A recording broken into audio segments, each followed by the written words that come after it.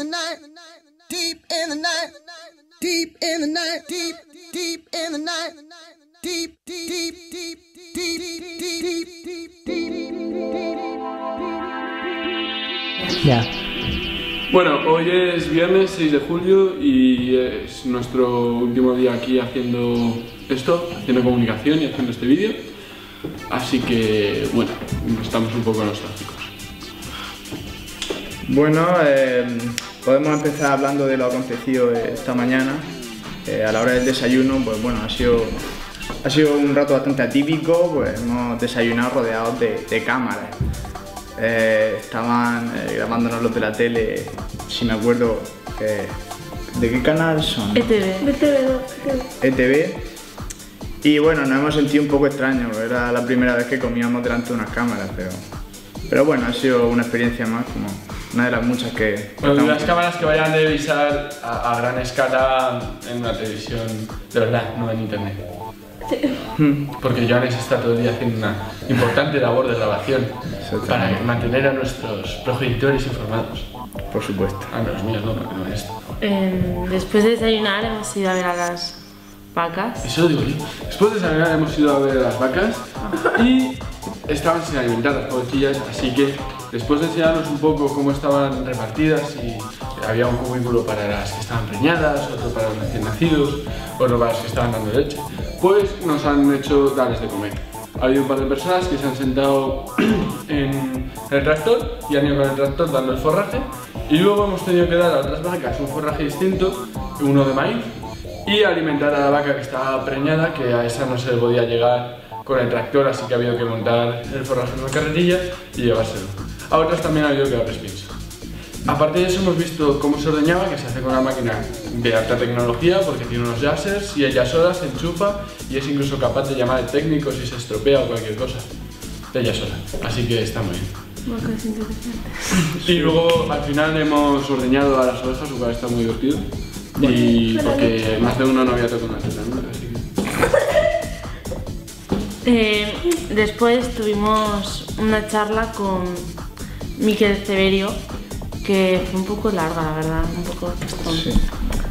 Pero es que los asientos también son muy cómodos. Pero nada, divertida, por así decirlo. Bien. Eh, nos habló de mm, los tipos de carne, de cómo se cocinaban o- y cómo tendrían que saber. De. Sí. Mientras la mayoría estaba en esa charla, nos hemos ido tres o cuatro a ir preparando la barbacoa, el fuego para la barbacoa y las brasas. Así en cuanto han salido hemos podido empezar a cocinar la comida. Y cuando, cuando habíamos terminado de comer, fue- eh, nos han dejado un rato de... No, no, espera, No, hemos no. comido. Eh, sí. Ah, pues que hemos comido eh, el ca- la cabeza de un, ca- de un cerdo y de... y un... ¿cómo era? ¿Yegua? Yegua y el otro no me acuerdo nunca. Y luego hemos Eh, mollejas de. mollejas de, de- cabritilla y de ternera. y luego de la vaca nos hemos comido los, Ah, y, las entrañas. y unas hamburguesas con queso de Idiazabal, buenísima. Sí, estaba muy bien. Todo, todo en general bueno. Sí. Además poco hecho como me gusta. Y, y nada, bien. Bueno, y después pues nos han dado un, un descanso largo y sobre todo merecido, ¿no? Digo lo de merecido porque llevamos varios días que es un no parar. o sea, sí, vamos, que no paramos y que hemos tenido descansos bastante breves. Entonces el de hoy ha, ha sentado bastante bien. Algunos incluso se han dormido la siesta. Ah.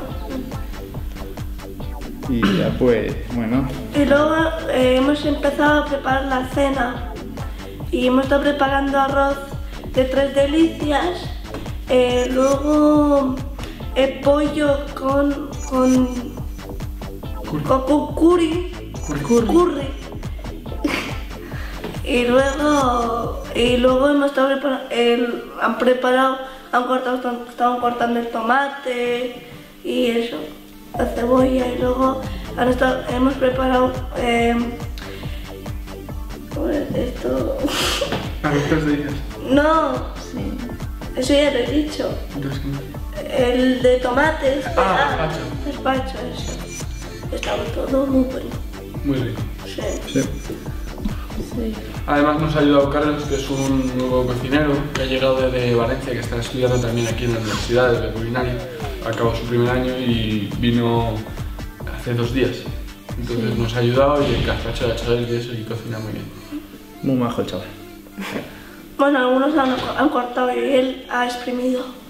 El único problema es que nosotros esperábamos que esta cocina oriental creíamos que conllevaba sushi. Entonces hemos llegado todos con muchas ganas Y y al final nos hemos sentido un poco desengañados. Yo no sí, pues, no, pues yo quería sushi, ¿sabes? Me encanta. Sí, es que además creo que lo ponía en el horario. o. Sí, no, ponía eh, maquis. Bueno, no, sí, no sé, algo así. Y, joder, pues, no sé. No, Y luego ya por la noche nos hemos vuelto a juntar todos, parecido a ayer en el auditorio también, pero mm, lo que hemos estado haciendo es ver los vídeos de los días anteriores y hablar un poco de ellos y de, de lo, que nos más, lo que más y menos nos había gustado de esos días. Ah, eh, y ha estado bien, lo que pasa es que nos hemos puesto un poco tristes todos porque se nos ha pasado muy rápido y nos damos cuenta de que ya se está acabando. Y que debería ser más largo el campamento, el próximo. O no. Sí. Depende por dónde lo mires. Bueno, también, pero joder, 10 días. A mí se me han pasado rápido. Sí, pero yo tengo ganas de dormir ya, ¿eh? Sí, las, oye, para las camas, las camas son cómodas. No, si digo las camas, digo por la hora y tal. ah, bueno. Sí. Pero bueno, pero, pero vamos, que en definitiva sí, el campamento de, de genial y eso. Sí, o sea que una maravilla. Nos da pena, pero bueno, es lo que toca, ¿no? ¿Qué, qué podemos hacer? Así que bueno, eso es todo por hoy. Hmm, Un día movidito. Mañana, Buen, buen día. mañana lloraremos. Y además mañana nos vamos a tener que levantar pronto a las 7 de la mañana o así, porque a las 8 y media hay que estar, 8 y cuarto, Y cuarto. 8 y cuarto hay que estar ya sentados en el bus para irnos, una hora de viaje. Así que bueno. Y además a Joan se le ve carita de cansado, está cerrando los ojos, así que le vamos a dejar ya que tiene que organizar el vídeo. Si, si hay alguna pregunta, la ya y si no, pues nada.